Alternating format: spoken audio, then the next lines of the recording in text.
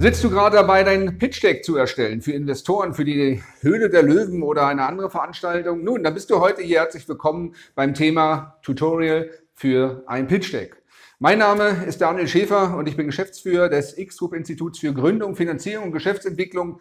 Und wir begleiten jedes Jahr eine dreistellige Anzahl von Unternehmen und Gründern dabei, auch ihre Finanzierungskonzepte, auch ihre Pitch-Decks zu erstellen, um vorzusprechen für Kapital, für Fremdmittel, die sie erhalten, um dann die Unternehmen erfolgreicher zu machen. Und meine Aufgabe wird es heute sein, dass ich dich so ein bisschen da durchführe, dich dabei zu begleiten und einen Leitfaden zu geben, mit dem du dein, dein Pitch-Deck erstellen sollst. Das Wichtigste aber zuvor ist, dass du dir Gedanken machst, was ist der Zweck, was ist die Absicht, was genau musst du rüberbringen. Und hier geht es sicherlich auch um die Inhalte, die ich dir gleich darbringen werde, aber es geht noch um etwas ganz anderes.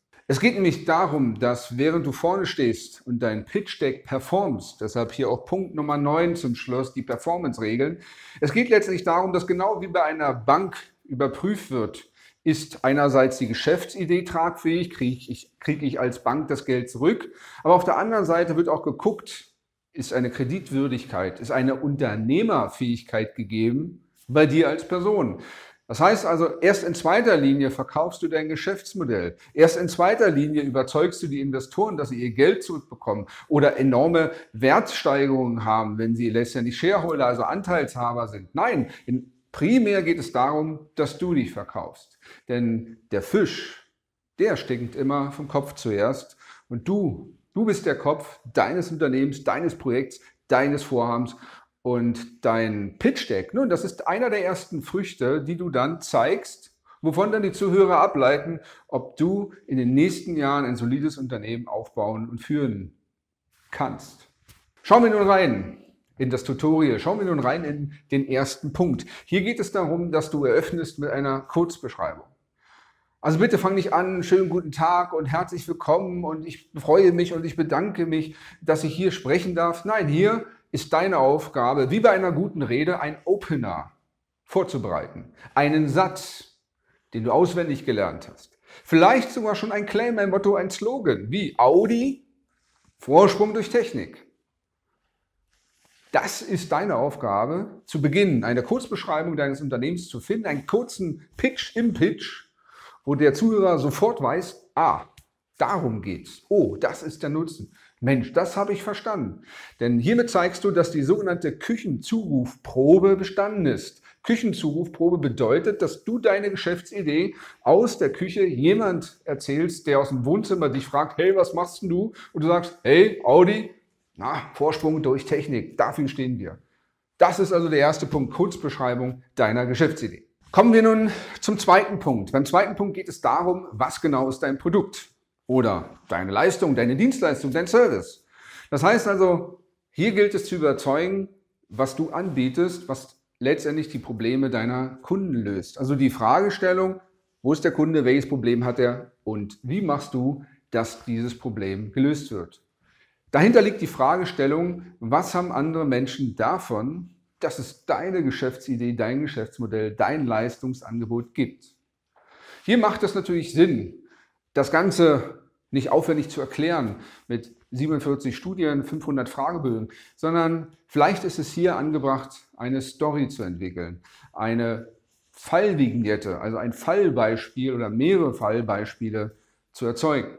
Zum Beispiel würde ich dann nicht sagen, dass ich ein neues Fitnessstudio habe mit den tollsten Kardiogeräten, dann aber eine Anamnese, ein Fettmessgerät. Nein, du erzählst die Geschichte von Michael, von den vielen Michaels, die morgens aufstehen und Knieschmerzen haben, die Probleme haben, in ihre Klamotten reinzubekommen. Die Waage hat schon längst den Geist aufgegeben und die Nachbarskinder lachen genauso auf dem Weg zur Arbeit Michael aus wie seine Kollegen. Die Traumfrau die im Nebenzimmer sitzt, die traut sich Michael gar nicht anzusprechen aufgrund seines Übergewichts. Und auch das an den Strand legen im Sommer und den Sommerurlaub im Süden hat er längst beiseite gelegt, seitdem letzte Mal Greenpeace gekommen ist und ihn versucht hat, zurück ins Wasser zu schieben.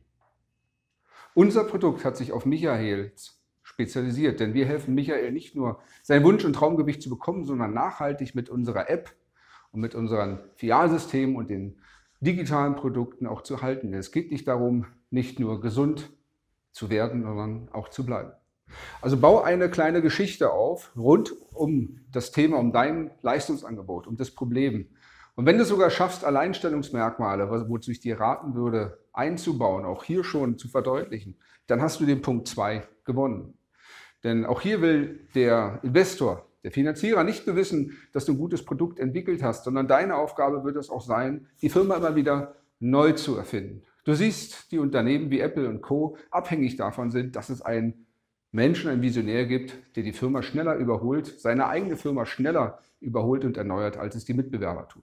Produkt und Nutzen in einer Story ist Punkt Nummer zwei. Beim dritten Punkt, geht, da geht es nun um den Avatar. Das heißt also den Stereotypen, die Persona, den idealen Kunden, so wie du ihn wünschst und der auch mehrheitlich später bei dir dann Kunde sein wird. Also wie alt ist er? Ist er männlich? Ist er weiblich? Hat er viel Geld? Hat er wenig Geld? Lebt er in der Stadt oder auf dem Land? Ist es jemand, der Hoch- oder Mittel- oder Tiefstatus hat? Also hier ist deine Aufgabe, schon so eine kurze Beschreibung auch zu geben, wer er ist und vor allen Dingen, wie viele es davon gibt, die du erreichen kannst. Also wie groß ist dein Markt? Denn hier macht es auch Sinn für Investoren, die in der Regel schon auch zahlenorientiert sind, denen zu sagen, ist das ein Millionen, ist das ein Milliardenmarkt, ist es national, ist es der europäische Markt oder der weltweite Markt. Also hier gute Marktanalyse kurz darzustellen und dann natürlich auch aufzuzeigen, wie viele Fischer sind da schon unterwegs. Es gibt nichts Peinlicheres, als wenn du vorne beim Pitch dann sagst, ja, wir sind die Ersten und die Einzigen. Nun, und du bist mit deinem Pitch noch gar nicht fertig und die ersten Investoren haben gegoogelt und drei Mitbewerber in Europa und USA und in Asien schon ausfindig gemacht. Dann ist deine Glaubwürdigkeit vorbei. Mache dir also Gedanken genau darüber, wen du erreichen willst, wie du die erreichen willst und welche Mitbewerber schon vor dir auf dem Markt sind oder vielleicht sich auch gerade darauf vorbereiten, deinen Markt zu erschließen. Ich nehme auch ganz stark an, dass du keine gemeinnützige Non-Profit-Organisation aufbauen willst, sondern ein nun nicht nur tragfähiges Unternehmen, sondern auch ein rentables. Und du kannst dir sicher sein, nun, dass die meisten Investoren auch daran interessiert sind, dass dein Unternehmen nicht nur sich selbst trägt, sondern Gewinne abwirft, im Wert steigt und dadurch aus 100.000 Euro vielleicht eine Million oder eine Milliarde Unternehmenswert irgendwann herauskommt. Deshalb ist hier beim vierten Punkt deine Aufgabe, das Geschäftsmodell abzubilden. Also das heißt, wie willst du Geld verdienen? Über welche Wege, welche Kanäle? Was sind da die Schlüsselkanäle oder die Schlüsselleistungen und welche Werte, welche Deckungsbeiträge vielleicht kannst du erzielen? Denn wenn du einen Umsatz machst von 100 oder von 1000 Euro, ist das völlig egal, wenn der Deckungsbeitrag immer unter 1% liegt. Das heißt, hier kurz aufzuzeigen, a, was sind die Wertentwicklungen, die du generierst? Wie ist dein Geschäftsmodell aufgebaut? Und zum Schluss vor allen Dingen, wie kannst du das skalieren? Denn wenn du Dienstleister bist, der als Fitnesstrainer tätig ist und du hast nur dich als Fitnesstrainer, nun, das wird schwer sein, dass du dich skalierst. Wenn du aber eine App, ein digitales Produkt aufbaust und das nicht nur bei der Produktion in Deutsch machst, sondern vielleicht sogar in Englisch, nun, dann kannst du weltweit skalieren. Und das ist deine Aufgabe hier im Geschäftsmodell, das genau abzubilden. Wie durchläuft der Kunde deine Leistung, welche Einstiegsprodukte gibt es, welche Upsales, Cross-Sales, welche Werteschöpfungsketten und Modelle hast du und vor allen Dingen, was bleibt auch drunten hängen und wie kannst du das weltweit ausrollen. Das ist das, was der Investor hier wissen will. Nun beim fünften Punkt, Traction, Traktion zu Deutsch. Hier geht es darum, dass du einen kurzen Ist- Stand gibst. Was hast du bisher schon erreicht und was sind die nächsten Ziele? Also die klassische, klassische Roadmap ist hier gefragt mit den entsprechenden Teilzielen, Milestones, Etappenziele. Und vor allen Dingen verbunden natürlich mit den Kennzahlen. Also deine Aufgabe ist es also hier herauszufinden, ist Proof of Concept noch erreicht oder liegt das noch vor dir? Also ist das Produkt schon fertig? Bist du schon markteintrittsfähig oder wann wird es sein? Und dann auch zu erzählen, wie du die Ziele der nächsten drei, vier, fünf Jahre oder sieben Jahre dir vorstellst und anhand welcher messbaren Kriterien du das überprüfen willst, dass du deine Ziele erreicht hast. Also mache dir hier einen kurzen Gedanken über deinen Finanzplan, wie du diesen in diesen nächsten Jahren vorstellst und was die Kriterien sind und belege auch, vielleicht hast du schon betriebswirtschaftliche Auswertung, vielleicht hast du schon Kennzahlen, vielleicht hast du schon Traffic und andere Analysedaten da, die aufzeigen, was du bisher schon erreicht hast. Das alles führst du hier in dem fünften Punkt zusammen. Beim sechsten Punkt, nun, da geht es um den Kapitän, um die Offiziere und die Unteroffiziere. Es geht also um dich und dein Team. Denn hier wollen die Investoren wissen, wie weit du schon in deiner Persönlichkeit gereift bist. Wenn du denkst und glaubst und auch referierst hier beim Pitch, dass du alles kannst und alles im Griff hast, nun, dann bist du relativ unglaubwürdig, denn nahezu alle Menschen wissen inzwischen, dass sie auf Ergänzung ausgelegt sind. Du wirst deine Schwerpunkte haben auf Strategie oder Sales oder Umsetzung oder Administration. Es gibt wenig Menschen, die alles können. Und selbst wenn du alles könntest, hast du nicht an allem Interesse. Und selbst wenn du alles könntest und an allem Interesse hast, hast du nicht die Zeit, alles zu tun, besonders wenn du wächst. Deshalb stelle hier vor, welche Kompetenzen welche Person in deinem Team abbildet. Nun, das Beste ist natürlich, weil es vier extreme Kompetenzfelder gibt als Unternehmer. Also menschenorientiert direkt und indirekt, aufgabenorientiert direkt und indirekt. Das Beste ist, wenn du dich vier Personen hast.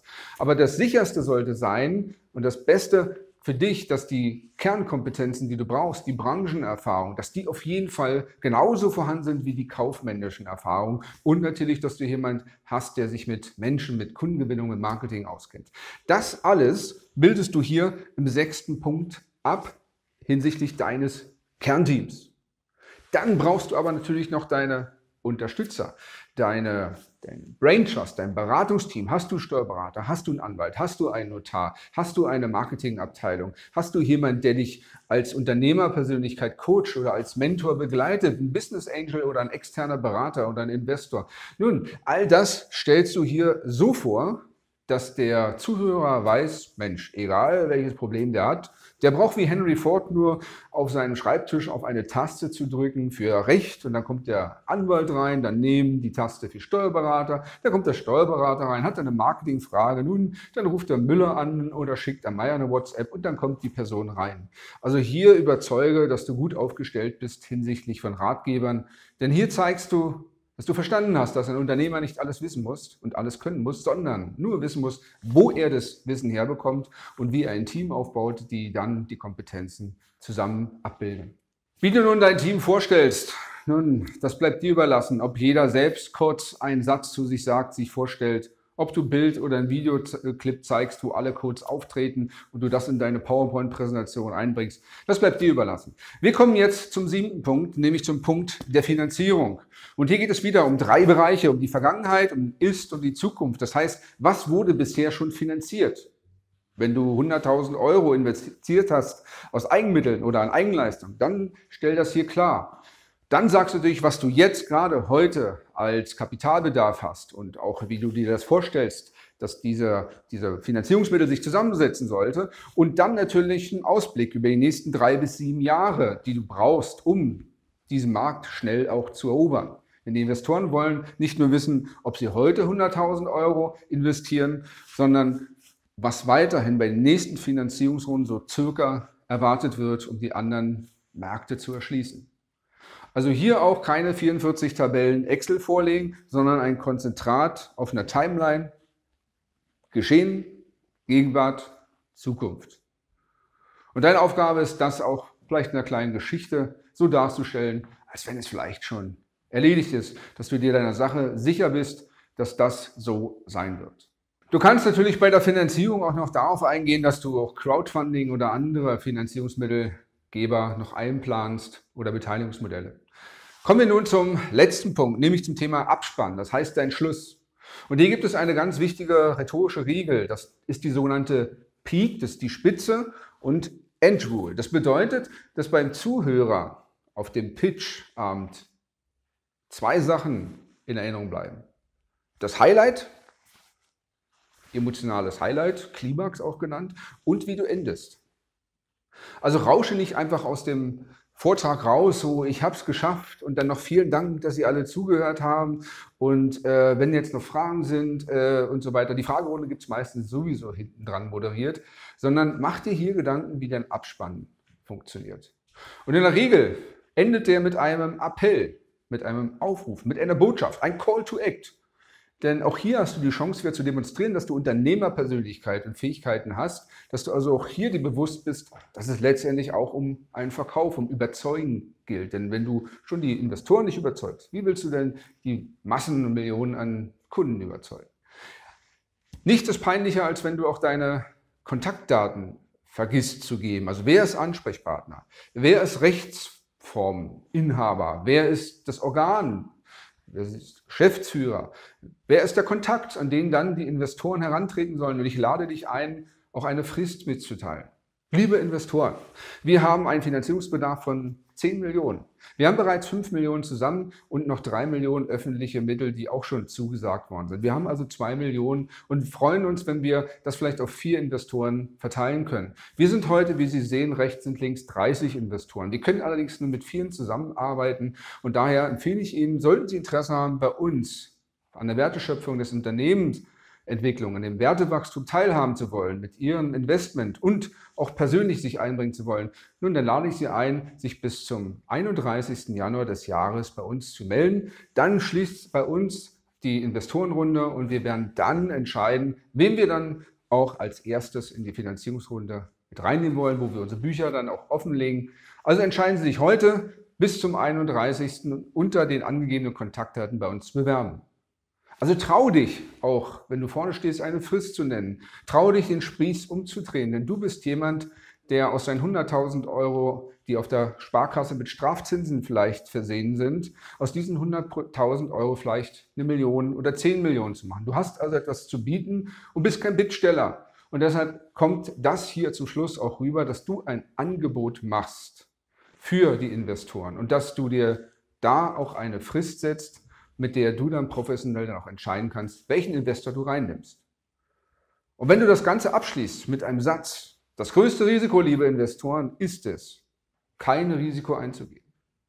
Das größte Risiko ist, dass sie diese Chance verpassen und ihr Nachbar links oder rechts die Chance genutzt hat. Sie entscheiden selbst, wie sie sich dann fühlen, wenn jemand anders die Chance genutzt hat. Ich freue mich, wenn Sie unser Investor werden und auf eine gute Zusammenarbeit. Entscheiden Sie sich, heute. Und dann kommt der Abschlusssatz, den du auswendig gelernt hast. Und das vielleicht, genauso wie den Einstieg, ist dann auch zu trainieren, ist zu üben. Du solltest es auswendig lernen, dass das dann auch sitzt. Kommen wir nun zum neunten Punkt, zum Performance-Punkt. Was kannst du nun tun, um zu üben? Nun, ich würde jetzt kein Vollmanuskript empfehlen, dass du hier zu deiner PowerPoint-Präsentation mit neun oder zehn Folien, dass du da einen Text zuschreibst und das auswendig lernst. Nein, ich denke eher, es macht Sinn, dass du dir für jede dieser Themen dir zumindest drei Informationsbausteine zusammensetzt. Nämlich einmal immer eine Einleitungs-, eine Eröffnungsfrage oder Formulierung. Zweitens die Zusammenfassung des Inhalts und die Klärung und drittens dann die Überleitungsfrage zum nächsten Thema.